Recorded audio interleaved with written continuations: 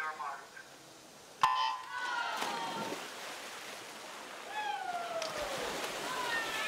Wasick with a commanding 24.8 this morning. Takes a 24.59 to get in the top 10 in the world standings. Only Leibel of Texas was under 26 seconds out of this field together with Wasick. And it looks like Wasick from start to finish will be victorious here, touching in at 24.70 as she improves on her morning effort.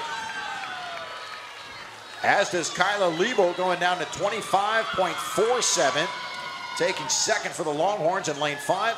Third, Anicka Delgado, Evolution Racing in lane seven with a 25.